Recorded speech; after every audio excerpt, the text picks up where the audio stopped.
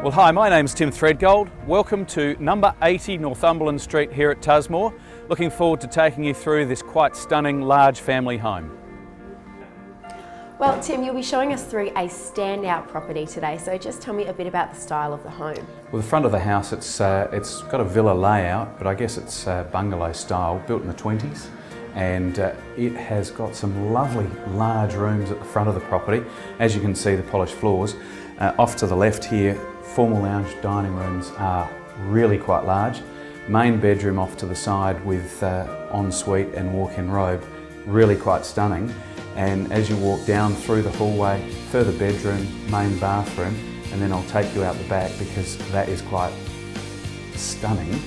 And uh, upstairs there's a magnificent extension as well. All right, well let's take a look at that now. So considering this is a home built in the 1920s, what are some of the character features we'll find here? Well, it's been beautifully extended as you can see, this area across the back of the home which incorporates the dining and family room and of course looks out to uh, backyard. But it also has cellar and three bedrooms upstairs with uh, bathroom, powder room and a lovely kids area upstairs also. Uh, so it's been wonderfully extended to incorporate that larger family home. So what makes this backyard perfect for families? Well, Elise, coming off the uh, lovely patio area, wonderful spot to entertain, cook barbecues, have friends and family around while they overlook the pool of course. The block's 1490 square metres, so it's a lovely expanse of garden and lawn. Um, interestingly, down the side of the property there's quite a bit of rainwater storage and also under the front yard as well.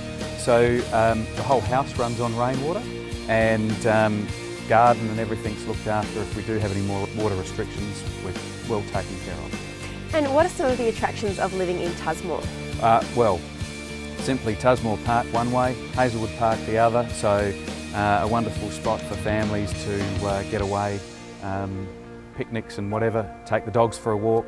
Um, and it's literally a couple of hundred metres down the road to Tusmore and a couple of hundred metres up the road to Hazelwood Park. Thank you very much for having a look through 80 Northumberland Street, Tusmore. If you'd like more details on the property, please feel free to give me a call or indeed have a look on our website at uh, 80northumberland.toop.com.au.